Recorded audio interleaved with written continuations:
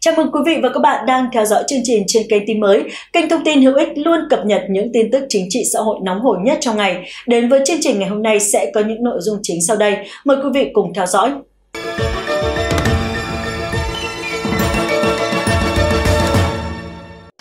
Bản tin lũ lụt Trung Quốc mới nhất ngày 6 tháng 8 năm 2023. Thưa quý vị, đã gần một tháng trôi qua kể từ khi đại thảm họa bắt đầu giáng xuống đất nước Trung Quốc, vẫn kéo dài cho đến nay không ngừng nghỉ.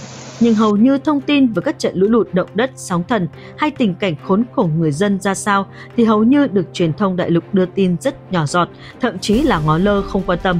Cũng chính vì lý do đó mà 1,5 tỷ người dân Trung Quốc bức xúc và thốt lên giới chức công quyền Đảng Cộng sản Trung Quốc trốn đi đâu cả rồi? Giới truyền thông trong nước chết hết rồi sao? Hàng loạt bình luận của người dùng mạng xã hội tại Trung Quốc tỏ ra sự bất bình cực độ với Đảng cầm quyền và Tập Cận Bình cùng với giới truyền thông chính thống của nước này. Việc tỏ thái độ hờ hững im re trước đại kiếp nạn mà người dân đại lục đang phải oan mình gánh chịu. Trong khi đó thì rất xông xáo với tình hình của các nước trên thế giới. Chẳng hạn như việc đánh chiếm bãi tư chính về tay cho Bắc Kinh đang trở nên như thế nào, cuộc chiến Nga và Ukraine như thế nào khiến người dân cả nước đại lục bắt đầu ngao ngán, phẫn nộ. Phải kể đến từ tháng 6, do mưa lớn kéo dài không dứt khiến 11 tỉnh thành miền Nam Trung Quốc đã ngập nặng, khiến cuộc sống của hơn 35,5 triệu người dân hàng ngày bị ảnh hưởng. Hàng trăm người chết và mất tích, hơn 120.000 người vào thời điểm đó đã phải sơ tán khẩn cấp. Đến nay mới bước vào đầu tháng 7, nhưng hiện tại mưa lũ, động đất, sóng thần đã và đang hoành hành tại nhiều khu vực từ Bắc chí Nam, từ Đông sang Tây của đại lục. Tuy nhiên, đứng trước sự khổ nạn to lớn của người dân, truyền thông Trung Quốc trước sau như một vẫn im lặng như tờ, vẫn rất tập trung mọi nguồn lực ra sức tuyên truyền về chủ quyền biển đảo phi pháp của mình trên Biển Đông và Đài Loan, rồi điều hàng ngàn quân lính ra Biển Đông xâm chiếm lãnh hải các nước láng giềng nhằm đánh lạc hướng sự chú ý của thế giới và tình hình rối ren trong đất nước của mình, khiến cho cư dân mạng không khỏi bức xúc. Nhưng sự dối trá của giới cầm quyền Tập Cận Bình vẫn không qua mắt được quốc tế khi đồng loạt các tờ báo nổi tiếng thế giới CNN, Reuters hay đài phát thanh quốc tế của Đức đưa tin rằng trận lũ lụt trong một tháng vừa qua đã khiến gần một phần tư dân số đất nước Trung Quốc bị ảnh hưởng nghiêm trọng. Hàng ngàn người phải bỏ mạng hoặc mất tích vì thiên tai dữ dội, hiếm hoi lắm mới được truyền thông nhà nước thu hút đưa tin.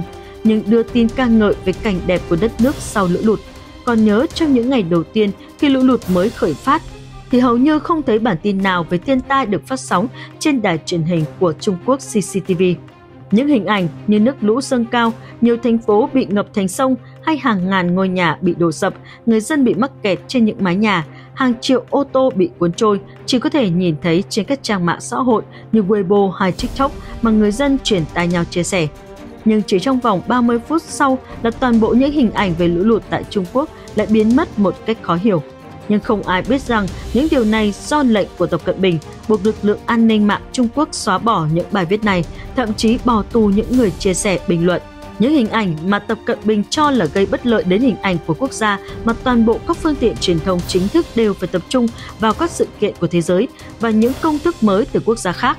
Điều này cho biết người dân kinh ngạc và thốt lên đài truyền hình CCTV đang nằm ở đất nước nào mà rốt cuộc đang phục vụ cho ai. Trong khi đó, mấy ngày vừa qua tại tỉnh Phú Xuyên, Trung Quốc, một trận mưa kéo dài gây lũ quét và đã tàn phá kinh hoàng nơi đây. Hàng ngàn xác chết gây mùi hôi thối của con người trôi nổi trên những dòng sông và một vùng đất công nông nghiệp ở tỉnh miền Tây Nam nước này. Theo Nhân dân Nhật báo online cho biết, cơ quan y tế và an toàn tỉnh Quảng Tây đang xử lý khử trùng khoảng 1.600 xác chết sau khi nước lũ tràn ngập qua các vùng hạ lưu, làm rất nhiều người và gia súc chết được biết, các khu vực nằm trong một thung lũng ở thành phố Lôi Châu được bao quanh bởi các dãy núi dốc đứng nên mực nước dâng lên nhanh chóng. Sau những trận mưa như chút nước không ngừng, hình ảnh các thung lũng hẻo lánh có các tòa nhà trang trại ngập lụt đã nhanh chóng được chia sẻ trên mạng xã hội Trung Quốc, cho thấy hàng ngàn xác chết trôi nổi cùng với rác thải và các mảnh vỡ thật đáng sợ. Các chuyên gia thời tiết cho biết lượng mưa gần 400mm rơi xuống chỉ trong vòng 20 giờ, gây lũ quét khắp khu vực một trong những số nông dân tìm cách để đưa súc vật đến những nơi an toàn. Nhưng tại trại lợn ở Đại Hóa, các nhân viên trong trại đã không thể sơ tán kịp thời. Một nhân viên nói, mực nước tăng từ 0 đến 3 mét chỉ trong vòng vài phút và chúng tôi không biết phải làm gì. Cuối cùng chúng tôi phải chứng kiến cảnh hàng chục nghìn xác chết động vật bị cuốn trôi theo dòng nước lũ. Mặc dù đa số người dân cũng biết bơi, nhưng do lũ xiết và bị mắc kẹt trong các vòng xoáy không thể thoát khỏi dòng nước lũ nên đã chết.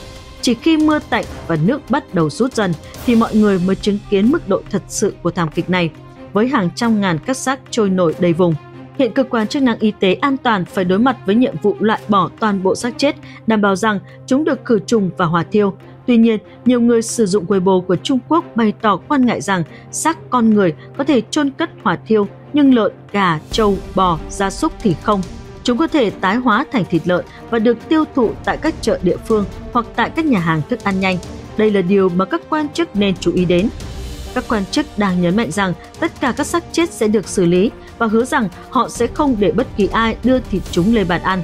Được biết, trận mưa lớn đã gây ra lũ lụt liên tục cho 40 quận tại 10 thành phố của tỉnh Tứ Xuyên, Hồ Bắc, Vũ Hán, Trung Quốc, làm gần 10.000 người chết và 2.000 người khác bị mất tích.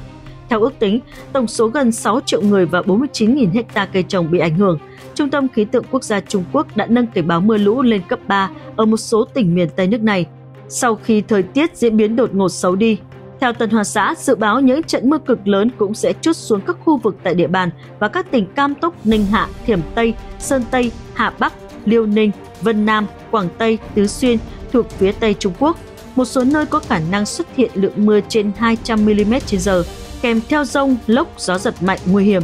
Bộ Thủy lợi Trung Quốc đã ban hành cảnh báo màu cam về lũ lụt ở các địa bàn thuộc tỉnh Tứ Xuyên, Thiểm Tây và Cam Túc. Chính quyền các địa phương cũng đã khuyến cáo người dân nâng cao cảnh giác với lũ lụt, lở đất và lũ bùn. Những hoạt động ngoài trời ở khu vực dễ xảy ra thiên tai bị cấm hoàn toàn cho tới khi có thông báo mới.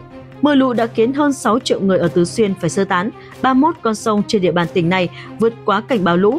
Từ đầu tháng 8 tới nay, tình trạng lũ lụt nghiêm trọng ở Trung Quốc đã xảy ra ở các tỉnh phía Nam, khiến gần 25.000 người thiệt mạng và mất tích, 31 triệu người bị ảnh hưởng, thiệt hại cho nền kinh tế lên tới 25,78 tỷ đô la Mỹ. Trong lịch sử Trung Quốc, lũ lụt luôn là một loại thiên tai gây thiệt hại nghiêm trọng nhất cho người dân. Có nhiều nguyên nhân gây ra tình trạng lũ lụt tồi tệ ở Trung Quốc, trong đó phải kể đến các yếu tố như khí hậu, địa hình và sự phân bố dân cư.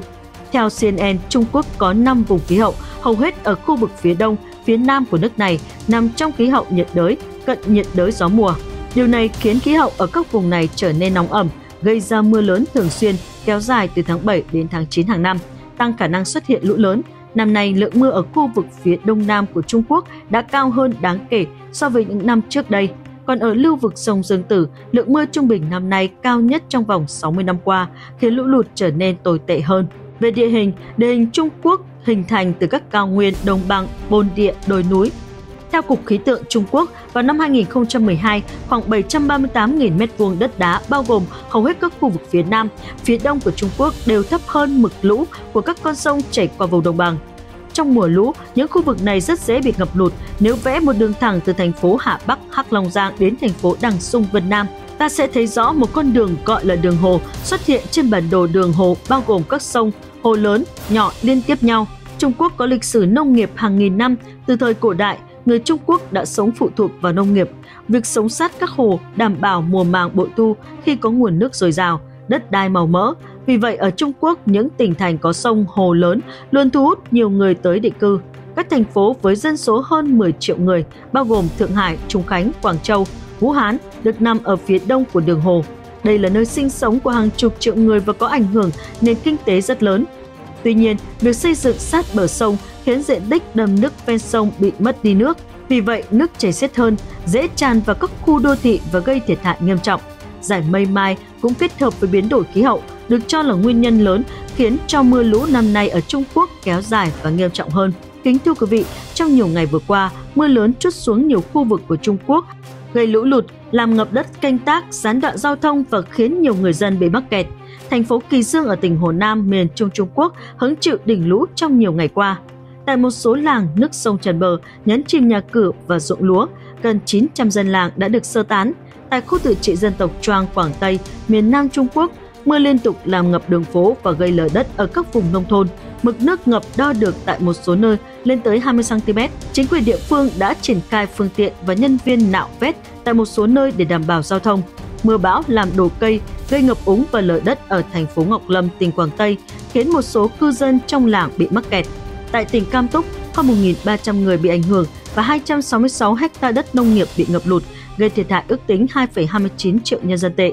Trung Quốc đang trải qua đợt diễn biến khí hậu bất thường khiến cho ngành nông nghiệp của nước này bị thiệt hại nghiêm trọng. Lượng mưa lớn đã làm gián đoạn vụ thu hoạch lúa mì ở các tỉnh miền Trung của nước này và được đánh giá là vụ gián đoạn tồi tệ nhất trong một thập kỷ qua. Trong nhiều ngày qua, mưa lớn tiếp tục chút xuống khiến nhiều khu vực của Trung Quốc gây lũ lụt, làm gián đoạn giao thông và khiến cho nhiều người dân bị mắc kẹt. Thành phố Kỳ Dương ở tỉnh Hồ Nam, miền Trung Trung Quốc hứng chịu đỉnh lũ trong nhiều ngày qua. Tại một số làng nước sông tràn bờ nhấn chìm nhà cửa và ruộng lúa. Gần 900 dân làng đã được sơ tán tại khu tự trị dân tộc Choang, Quảng Tây, miền Nam Trung Quốc. Mưa liên tục làm ngập đường phố và gây lở đất ở các khu vực nông thôn. Mực nước ngập đo được tại một số nơi lên tới 20 cm. Chính quyền địa phương đã triển khai phương tiện và nhân viên nạo vét tại một số nơi để đảm bảo giao thông. Mưa bão làm đổ cây gây ngập úng và lở đất ở các thành phố Ngọc Lâm, tỉnh Quảng Tây khiến một số cư dân trong làng bị mắc kẹt.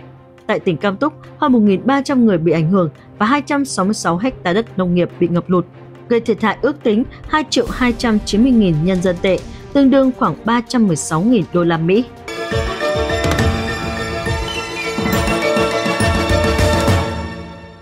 Tin vừa rồi cũng đã khép lại chương trình ngày hôm nay của tin mới. Cảm ơn quý vị đã quan tâm theo dõi. Xin chào và hẹn gặp lại.